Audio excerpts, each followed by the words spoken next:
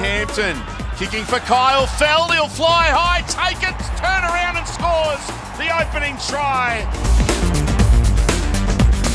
Beautiful. Oh, inside, inside ball. ball. Valentine Holmes to Jake Granville.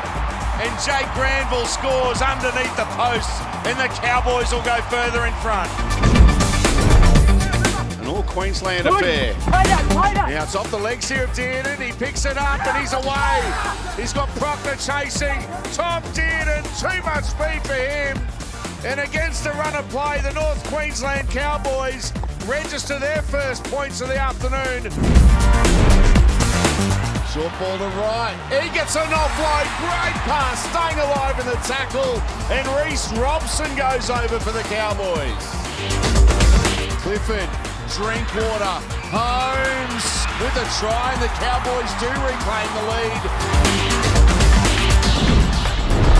Tom Dearden out for Drinkwater. He goes through the hands, done, and at one bounce, Feldt for the corner. Feldt scores. Granville goes to dummy half. Oh. Here's Big Coen Hess. He can't get the ball down.